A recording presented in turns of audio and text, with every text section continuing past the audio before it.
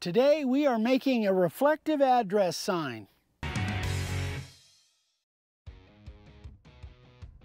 Hey guys, we got a lot of great projects coming up you don't want to miss. So if you haven't subscribed yet, click that little bell icon and the subscribe button so you don't miss out because we got some really cool stuff coming up. We get requests on a regular basis. How do we make glow in the dark, reflective kind of signs? Well, this seemed like the perfect opportunity to make one for us. We live out here in the middle of the desert we are miles from any street lights. So I wanted to make something that was reflective. These are letters or numbers that dad did years ago, but you can't necessarily see these at night. So this thing is reflective with glass beads. So when lights shine on it, it returns the light to that source. So let's get this thing going.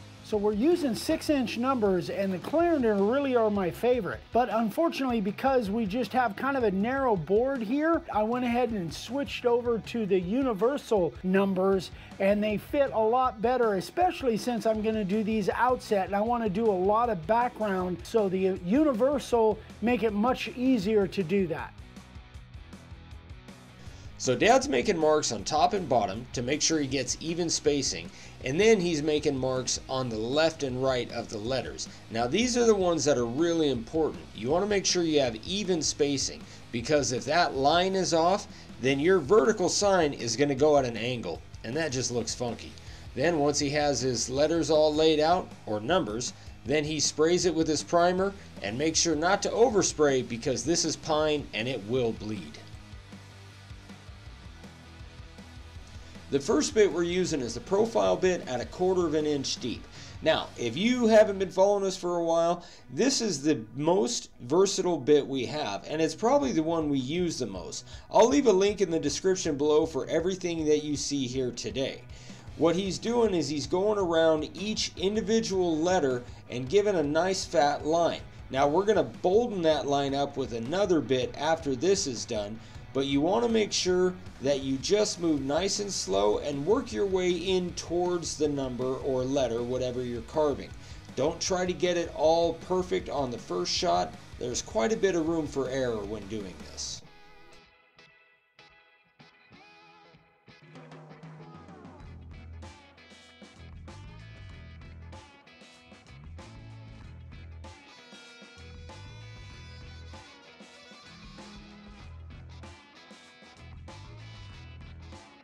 The next bit we're using is the new 3 8 90 degree bit. Now we do all of our background, well almost all of our background, with our regular quarter inch 90 degree. But this particular bit, it's new to our arsenal and me and dad just fell in love with it. This thing cuts like a hot knife through butter and it gives that same look. You can get the same texture for it, but man, it cuts your time in half. The only thing is, you really got to be careful if you're not used to it because you will go right through any of your carving and not even notice it.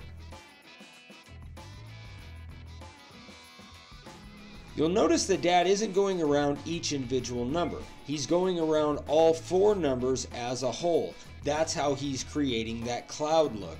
It's just not super wide.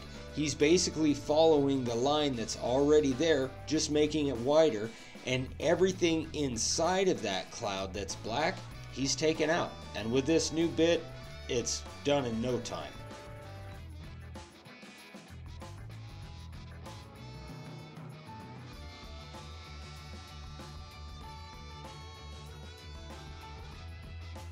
There's all kinds of different jigs out there to help you get the perfect rounded corner. But for a sign like this, all you really need is a disc sander. Dad's just putting it up against the far end of the sander and moving it back and forth. It takes a little bit of practice, but once you get it, it's pretty simple.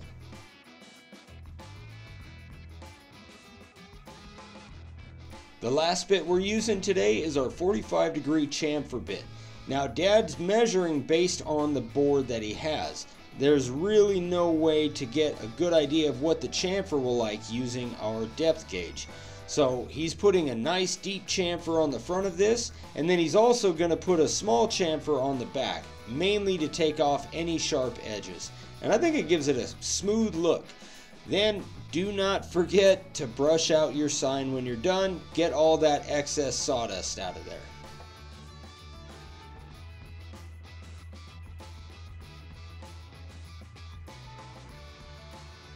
Once your sign's all blown off and you got all the sawdust out, then we're just going to spray the edges black with our primer and we're going to spray all the inside of the cloud black. Now remember, like I said before, don't overspray, otherwise you're going to deal with some bleeding.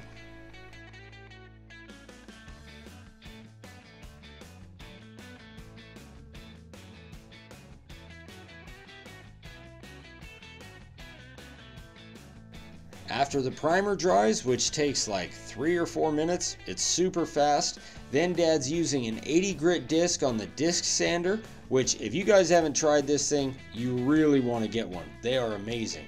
Then he's going to follow back and get a smooth finish with the 120 grit on the random orbital.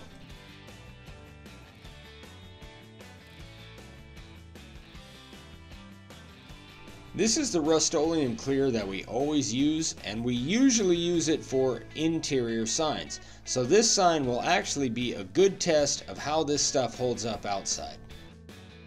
I'm really happy with the way this came out. I wasn't sure exactly how it was gonna look, but that big 90 degree bit, uh, I really like the way it works. Now this has got, I think seven or eight coats of the clear on it. We're gonna paint these numbers white, then we're gonna do something special to make it reflective. We're trying this new Ronan one stroke paint and it actually works just as good as one shot and I think it's quite a bit cheaper. We're going to use it a little bit more before we really give it our full, I don't know what you want to call it, endorsement. Um, but for this sign, it seemed to work out really well.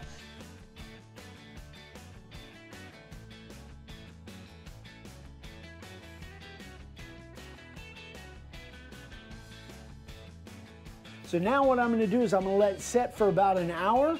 Then when we come back, we're gonna put some reflective glass bead on here. Now the reason I'm letting it set is because if I put it on now, especially because I put the paint on so thick, that that glass bead would sink all the way into that paint. Sinks all the way in then that glass won't be protruding beyond the surface of the paint and it defeats the whole purpose. We're gonna let this set exactly 60 minutes and we're gonna come back and we're gonna sprinkle some glass bead on there. So stick with us.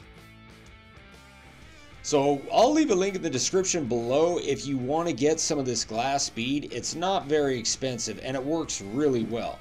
Now what we should have done is used a salt shaker. Dad said that that's how Grandpa used to do this, and it would have given a much more even uh, coverage on each one of the letters. But this ended up working. Don't worry about sprinkling too much because you can save anything that's not stuck to the paint. That's why Dad's using a piece of paper right here because we're going to dump all the rest into that paper and then put it back in the can to reuse again.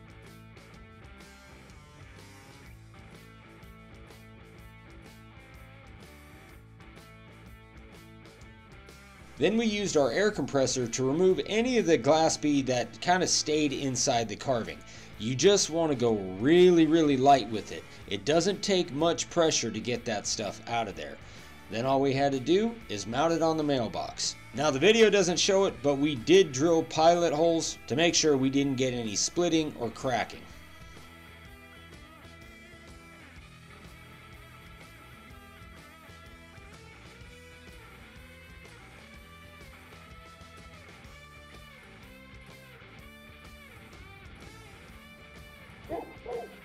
Yeah.